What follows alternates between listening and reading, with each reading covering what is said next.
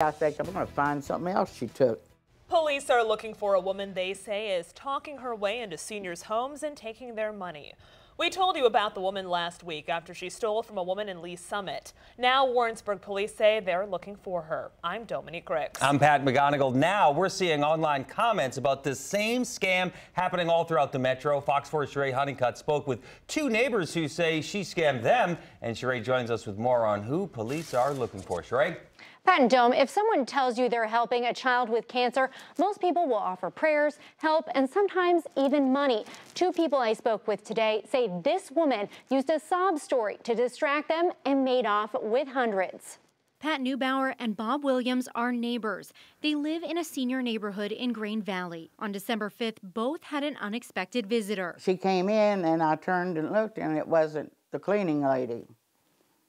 And I said, who are you? I said, You're not who I'm expecting. I just motioned for her to come on in, and she did. And she had some little handmade Christmas stuff. Warrensburg police say they believe this woman is Laura Johnson, and she's doing this across the metro. She told both Pat and Bob she was raising money by selling Christmas items for a child with leukemia. And of course, my old heart just pump, pump, pump.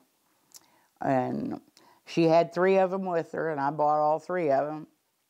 And then she wanted to know if she could use my bathroom. Neubauer says she made off with an envelope of around $200 in cash. Williams says he bought this mug and then she distracted him. I just laid my billfold down there and I went in and got her an aspirin. She said she had a headache. It wasn't until later they realized they donated more than they expected. I didn't notice the money gone until the next day when I went to get some money out of my wallet. I'd laid my billfold over there and I picked it up and noticed it was real thin and she went through and took everything out of it. My driver's license, my social security, and about $200 in money.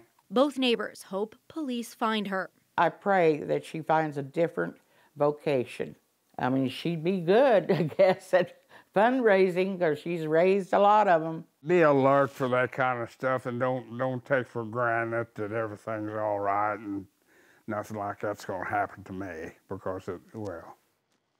Now, she's known to drive a silver Pontiac G6. The Warrensburg police say to contact them if you see her and to let elderly friends and family know about her. Show them her picture, just in case she knocks on their door. Sherae Honeycutt, Fox 4 News.